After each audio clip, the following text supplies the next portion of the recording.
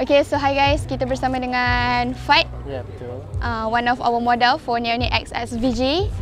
Okay, so maybe you can introduce yourself lah. Okay. Uh, my name is Fahad. I'm the model for Unit SVG lah punya show this year.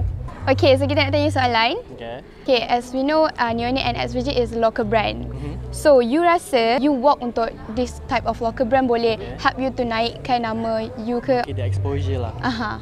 So what I feel is that okay, local brand in Malaysia is currently peak lah. So I feel that exposure is memang very good. When I walk, I'm gonna work for Unit SVG, so it's gonna be a good exposure and good portfolio lah for myself.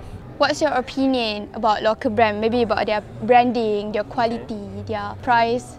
Okay, as for now, the market is going really good because uh, banyak local brand pun their quality, marketing and branding pun memang international punya standard lah. So I respect to all local brands out there.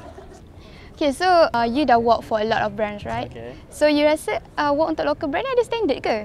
Okay, so for me, yes. Sebab local brand pun they have their own standards and we can compare lah with other brands and every brand pun dia ada dia punya level of standard. So mm-hmm. when I'm gonna work for like local brands, it's gonna be still good portfolio for myself and also out there siapa yang nak yang dah work for local brands, it's good, it's still good. Hashtag the rise of local brand.